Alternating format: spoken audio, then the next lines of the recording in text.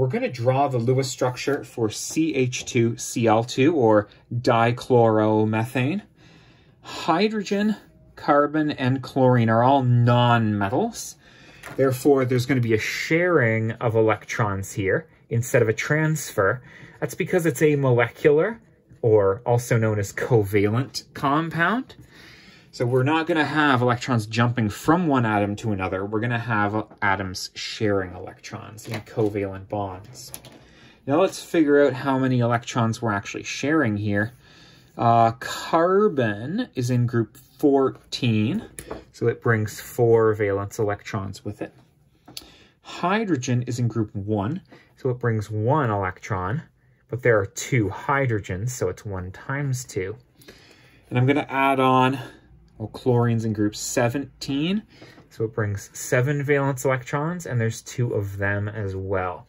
So I got 4 plus 2 plus 14, which makes 20 electrons total that I'm going to deal with. Now I'm going to start by putting my carbon in the center. Of these atoms, carbon can make four bonds, which is more than these can make. So I put the thing that can make the most bonds in the center and then I surround it, in this case by two H's and two Cl's. Now I'm going to draw single bonds to hold it all together to start with. That's two, four, six, eight electrons that I've already dealt with. And I'm going to need 20 total in the end. So I am going to fill the octets of the outer atoms. Now hydrogen doesn't follow the octet rule it follows the doublet rule. It's already happy with this one bond containing two electrons. So I'm not going to touch the hydrogens.